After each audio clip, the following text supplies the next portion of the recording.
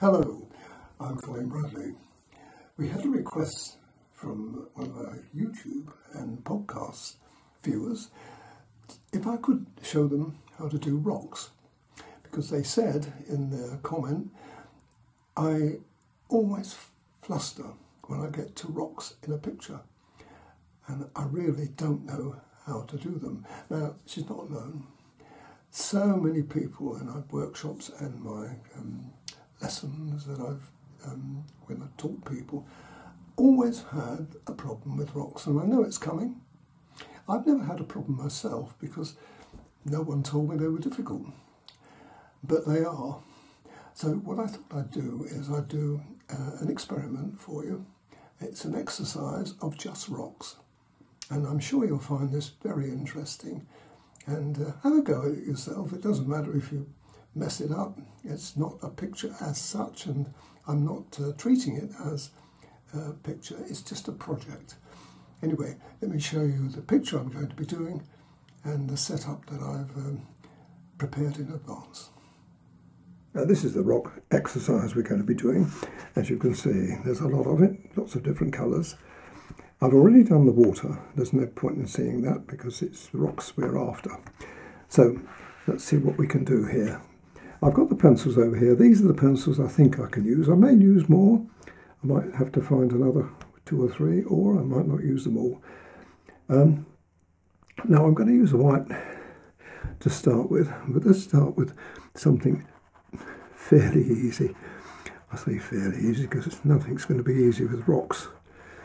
Now I'm going to put the, the white in. What we're looking for is this one here, because that one will give me all this colour, it will give me this colour, and then we'll have this colour as well. So we'll have, in that one small area, we'll have really the, the colours that we're going to be using for the rest of it. So that's why I'm starting there. I'm using actually a buttermilk pastel paper. I haven't used this before, but I think it'll be quite nice to use. I'm going to put the put the white on. I don't need the white in the darker areas, which is there, but I do need it where I want to put a base colour on there. So there's that's number one. Number two, I'll keep these here for the moment, but what I'm going to, I've got a couple of whites here. Um, I should make sure they're sharp in a minute. Uh, greys. Now I'm going to be using this grey. Uh, this is a darker grey. What we're looking for here is this. We're looking for a base colour for that, and the grey is ideal as a starter. So let's put that in.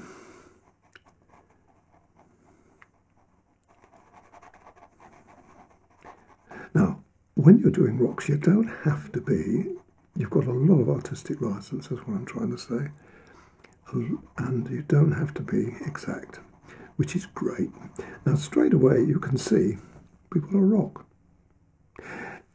It's not quite as simple as that, but you can see how the pastel paper and the pastel works really well to give you the impression of rocks. Now I'm coming into the water as well.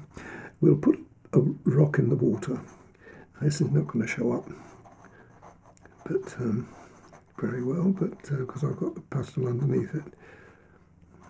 But it would be nice just to uh, extend that. Right, okay.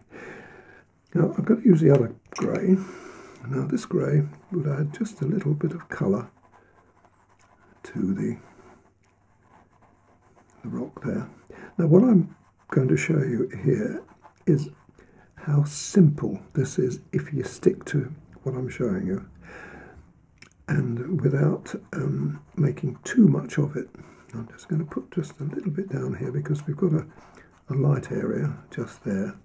Another thing we can do is use a pastel shaper. I'm using the grey one because the grey one is just a bit harder. When I've used um, the ivory, they're ideal for fur and for skin.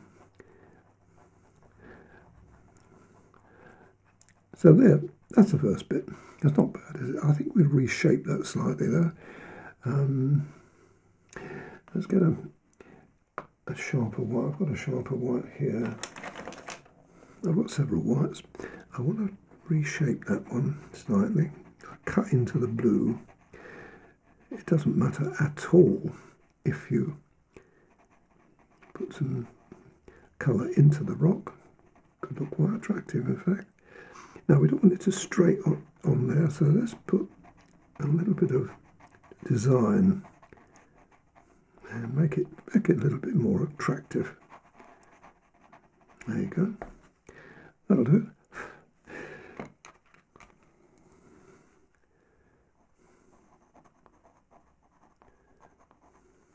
Now, I'm going to use the grey again here, this time with just a little bit of a, a lighter touch. Now, if you look at the picture again, you'll see that this is pink. And so let's, let's use another couple of colours. Pink would be nice. Grey and pink work really well together. What I might do here, let me see if I can show you. I'm going to come closer as well because you're, you're looking at this from a distance. If I just leave that there, now you can see what I'm doing. I'm looking at that, you're looking at the... Here, I want that to be grey here, not pink. So we just put a bit of grey in. As I said before, you've got artistic license. You can do what you want. You, you, really, folks, you could almost leave that alone now, couldn't you? Except we need that darker. So let's work something darker. I've got two dark colours here. There's one is the 181, which is a nice colour I use a lot, and this is 175. What's the difference, Cole? Well, the difference is you've got a bluey um, grey here, and you've got an earth grey there. Now, if you look at the picture, kind of a cross between the two. But as I'm going to put browns on in a minute, it's probably a good idea if I don't use that one. That's the um, 181, but use the 175. And the other thing I can do here is I can cut round that rock. So let's just do that. In other words, shape that one in advance. Another thing we can do here is we can make that a little stronger. To get rid of the light altogether. Let's make it just with a little bit of a tail on there. Come in. Now, water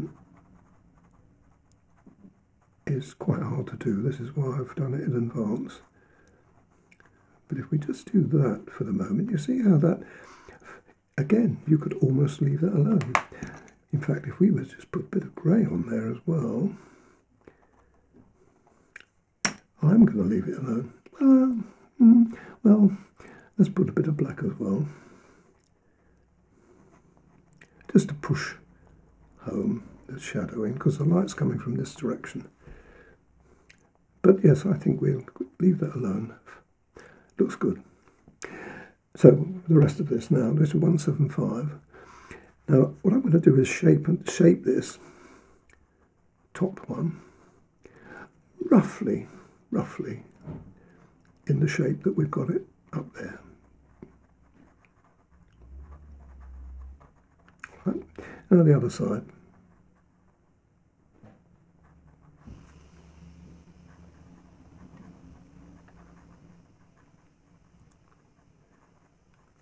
Right, and let's put this bit in here, which is dark. There with a bit of light there and a little bit of light there. So leave the little bit of light there and leave the little bit of light there. Oh, that's coming down quite. In fact, it would be nice if it links to that, I think. Like that. From now onwards, we can just fill that in. You've got to be mindful of the pastel paper is going to give you a lot of help here. So just wiggle the pencil until you see some sort of formation coming in. Now, although I'm spending time on this one little section, I won't be doing it for the rest, and I'll be showing you all of that in bits and pieces as we go along. But here it's very important to see how it goes. See, now that's quite nice, isn't it? Let's just use another colour. I think um, that pink was nice, but I think we'll go just a little stronger now. This is 189 in, in Faber. And again, use the Pastelmat to take it off the pencil. If you haven't got Pastelmat, you're using Ingres, you still effectively do the same thing. That's quite nice. It's very, very close, isn't it, to that now? But I wanted to keep this grey over here. Let's just put just a tiny bit of 175 to give just a little bit of shape to that, like that. And then with the white again, cut round the, this is quite a strong white here I've got. And we can make just a little bit of design in there.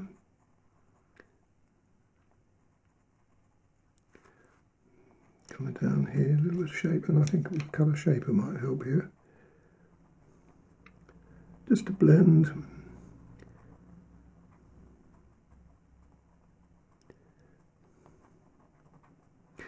Now, I think um, what I'm going to do is use a, a brown. I've got a brown here. what shall I use? Tell you what, I'm going to use 18283 in here, which is the ready brown, and that would look quite nice in there.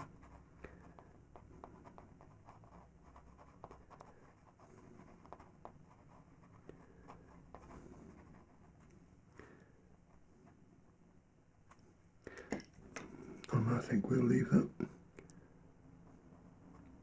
alone. Make make that just a little bit more, bit, bit better design on that.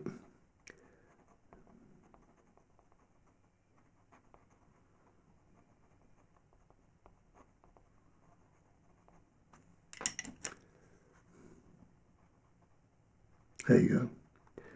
Now I don't think you really need any more than that. If you wanted to elaborate, we could make they put the black in just a little little little bit more strength here and there.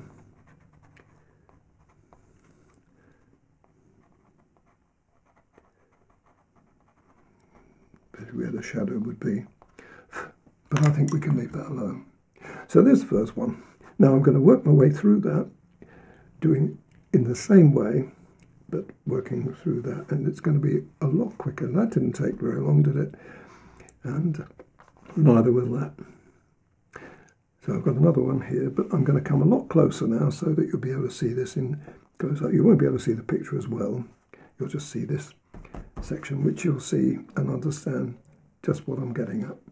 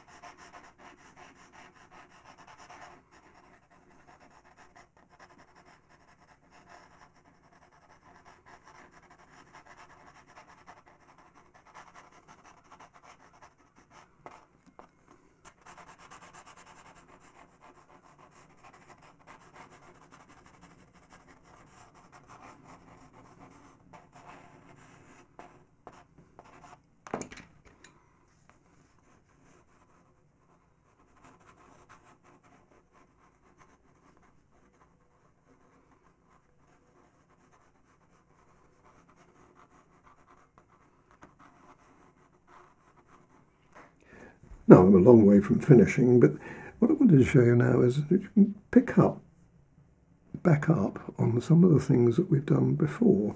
That's 177, this is 183, 283 rather. What I want to do is to put the colour on here, and I'm going to put the definition between the two. So the darkening that rock lightens that one up, see? Now what I want to do now, this is um, 177. I've got darker colours than this if I need them, but uh, for the moment, let's just concentrate on this. Just a little bit of detail. I don't want to make it as dark as that. That is the darkest. In fact, what I'll do there, just to make it absolutely, uh, if I can find it, there we are, my black, is to make it absolutely as dark as I can get it. The black will give it that depth. Okay, now let's got that in there.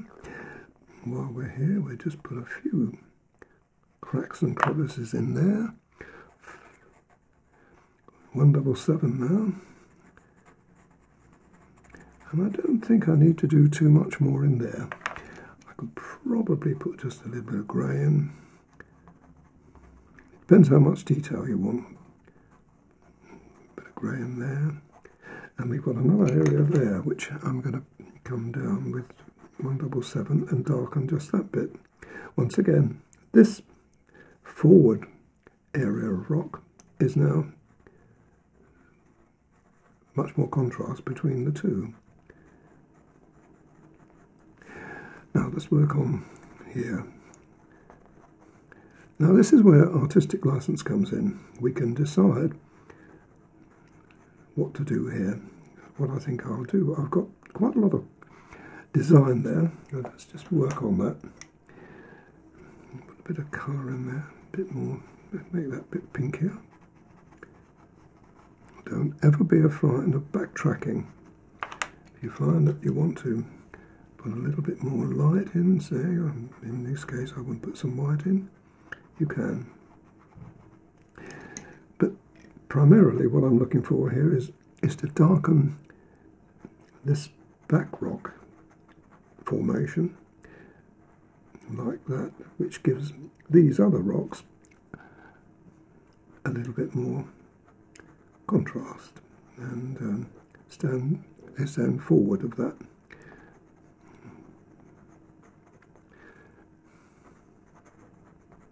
A little bit of black in there, we'll do what it's done up there. Now you get to a point where you've got to stop, and I've got to that point there, I'm going to stop. What I'm going to do though is show you, if I use my 181, if I can find that, here it is, 181, I can put that in the water because I want to put just a bit of shadow in that water there, like that. Makes it look more, more natural. Put some in there as well. So, so far that is looking quite exceptional, isn't it? Well, all of that's going to be the same. So I'm going to carry on. Um, I'm just going to show you, this is, you know, there's not a lot of brown in this rock, it's mainly grey. So I'm going to use my 175. It's best to use the browns with the browns. In other words, 175 is a warmer colour. I've lost it at the moment. I've got it here. This is a question of locating it. Uh, here it is. Yes, uh, the sepia is a browny colour. Now that would be the better one to use here. Now, you can please yourself where you go here. There's no hard and fast rule and a few little cracks in. There's just a few more. I've already kind of established the idea now I'm just making just a little bit more of those cracks. Now you can then use the colour shaper, not that one, the pointed one preferably, just to make them look that little bit less obvious, like that. And what would make them stand out is if you use a white and emphasise the, the light. Again, not all over, just in places.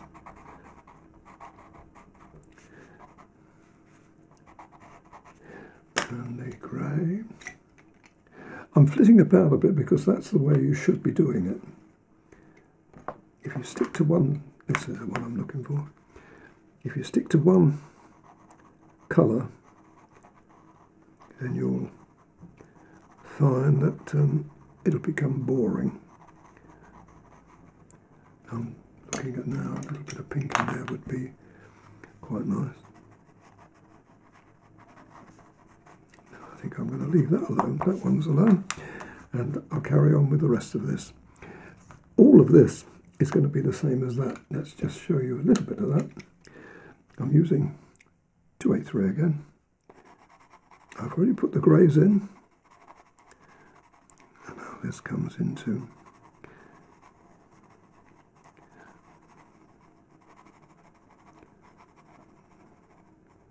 You're probably looking, this is it, it, it, it looks very easy, Colin. Well, I'm sorry to say it's not. As I've mentioned in the past, rocks are notoriously difficult to do. And you've got to do them the way I'm doing, just keep, keep backtracking. Put a little bit of white in there to, this is what I mean by backtracking. You see it and you think, I'll make that just a little stronger. Like that. that looks a bit false, so we will use 283 to make that a little more acceptable.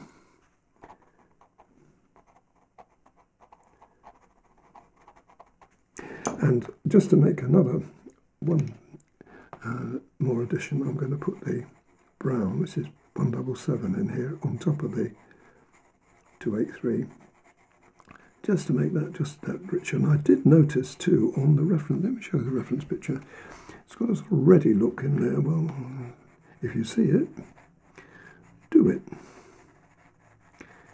And uh, the red I'm going to use there is 190, this one.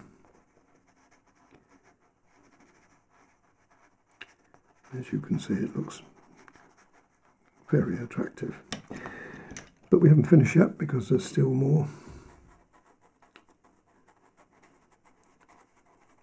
to do.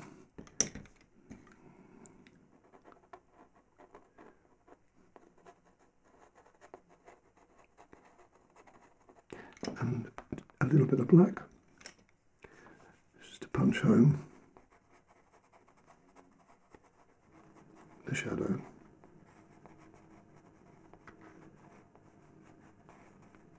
and be a good idea here, 181, to bring down the shadow in the water. In fact, you could probably put some of that red in there as a reflection.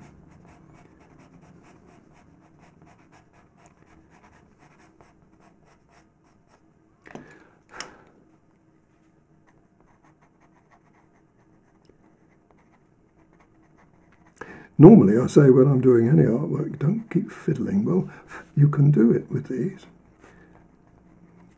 It'd be nice, nice to make that just a little bit lighter there, so forms. If you don't like it, we'll alter it. But I think I do. So there we are. So I'm going to carry on now, and um, I'll come in if I need to, because this is going to be quite a tricky area. Once again, I've started the ball rolling with the grey and I shall continue with that, picking out individual rocks. But up here, it's coming very well, but it does need some definition. So let's put some definition in. Got to find the right colour. Let's try that one. Like that. Middle of the pencil when you do this, you, that stops you from being like straight lines because you won't get many straight lines in rocks.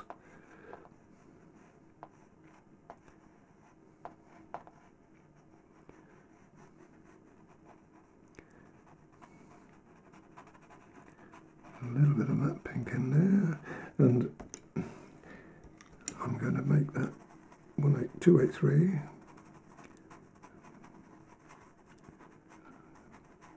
The idea of this was to try to bring this foot forward rock. 177.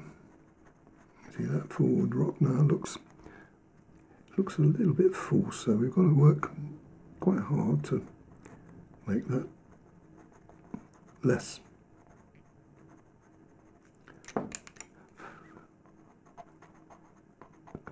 It looks looks as though it's contrived. you don't want that. Well, I should work on that a little bit more. But you get the idea of all of this, so I'm going to carry on.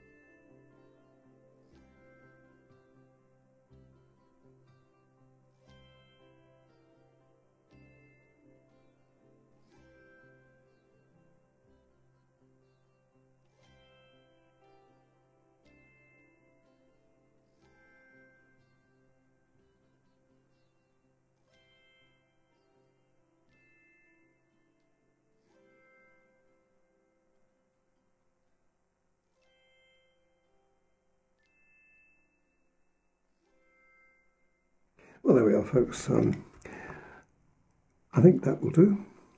It's quite easy to overdo something like this, and uh, I don't want to do that, so I'm going to leave it at that. But I hope it's given you enough information to do, have a crack at rocks for yourself.